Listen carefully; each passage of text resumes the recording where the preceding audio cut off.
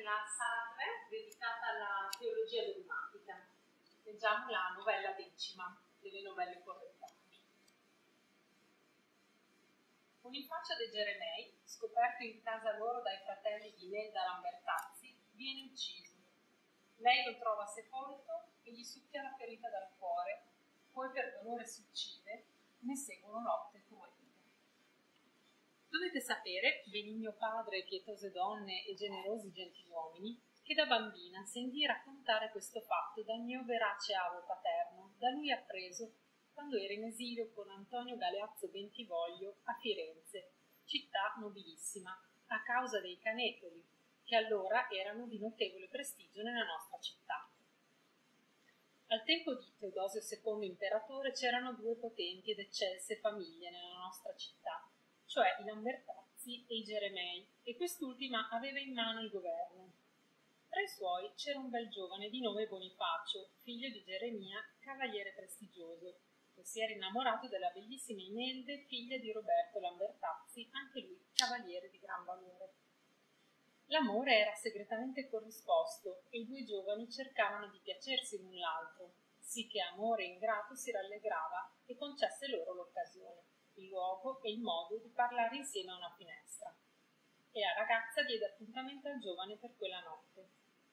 Venuta la quale, Bonifacio entrò nella casa dell'amata, ma i fratelli di lei se ne accorsero. Essi, che già erano mal disposti verso la giovane per il suo continuo passare davanti alla loro casa, appena lo videro lo afferrarono. E uno di loro, impaziente e furioso più degli altri, gli inferse una coltellata nel petto e gli passò il cuore con un taglio profondo. Morì all'istante e i fratelli, resisi conto e pentiti di aver commesso tanto delitto, ragionarono sulle conseguenze e conclusero di tener nascosta la cosa e di seppellire il giovane in un angolo della casa. La mattina seguente montarono a cavalli avanti giorno e per alcuni giorni se ne stettero fuori città, minacciando di morte la sconsolata sorella se avesse fatto parola. Lei infatti si era accorta della colluttazione e dopo la loro partenza, temendo il peggio, si era messa a cercare tremante e piena di paura per tutta la casa se per caso vedesse il suo Bonifacio, ma temeva di trovarlo più morto che vivo per il duro atteggiamento e le parole severe dei fratelli. Mentre cercava, chiamava pian piano per nome. Dopo un po' vide un rigoletto di sangue e, seguitolo, arrivò dove era stato sepolto accortasi del terreno smosso, vi si pose in ginocchio e con ardenti sospiri e angosciose lacrime cominciò a rimuoverlo con le unghie e tanto fece che arrivò al morto amante. Appena lo vide, con sommessa voce singulti, per paura di essere sentita, sebbene fosse già uscita di sé, cominciò a piangere e a dire me misera e malnata, chi mai fu più disgraziato di me? E si mise le mani nei biondi capelli strappandosene con violenza e percorrendosi il volto già mortificato e bagnandosi il candido petto di lacrime. Caro Bonifacio, dolce riposo dell'anima mia tapina, come ti vedo conciato.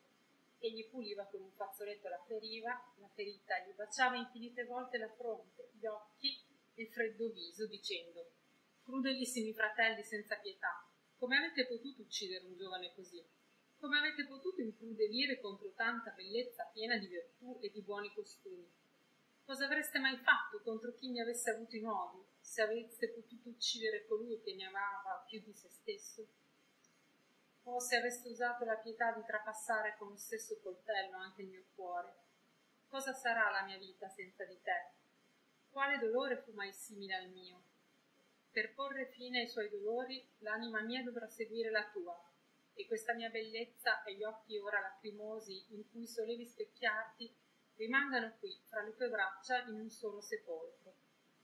Così dicendo, prese un veleno che il padre, potentissimo cittadino, e i fratelli tenevano per poter risolvere certi colpi sinistri di fortuna, che gli capitarono spesso come capi di parte nella nostra città e odiati da molti cittadini. E diluitolo lo pose nella ferita del morto amante, dicendo Fratelli assassini, assetati di sangue amoroso, oggi perderete la vostra sorella, che il padre vi aveva affidato in punto di morte, perché ne aveste special cura, già morta nostra madre. Come sarebbe stato meglio morire con lui? Così dicendo, con voce flebile, mise la bocca sulla ferita e la succhiò con fiero animo dicendo quanto è dolce questo liquore che viene dal tuo cuore lacerato, unica speranza della mia vita, che mi hai amata più di ogni altra cosa al mondo. In breve tempo la sua anima abbandonò il misero corpo e rimase stecchita sul petto del morto amante. Come è costume della fama, portatrice di male nove, il grave e inaudito caso fu presto conosciuto e ne seguì una guerra civile favorita dall'essere quelle due famiglie capi delle fazioni Guelfa e Ghibellina. Tutte le strade di Bologna si bagnarono di sangue cittadino e la fazione dei Lambertazzi fu battuta. 20.000 e 12 cittadini posti in eterno esilio, come si rileva dall'archivio della nostra illustre città, i quali poi, con l'armi insanguinate, occuparono parte di Romagna e parte di Toscana, dove i loro successori si trovano tuttora col nome delle famiglie espulse da Bologna in quel tempo. Pietose lacrime furono versate per il triste caso narrato dalla nobildonna e si disse che la nostra incrita città, per certi influssi del cielo, aveva subito sedizioni civili e guerre intestine ed esterne, ma che poi da molto tempo godeva una dolce e oziosa pace senza alcun mutamento e travaglio, grazie a Dio e all'ottimo e prudentissimo governo dei nostri degnissimi senatori.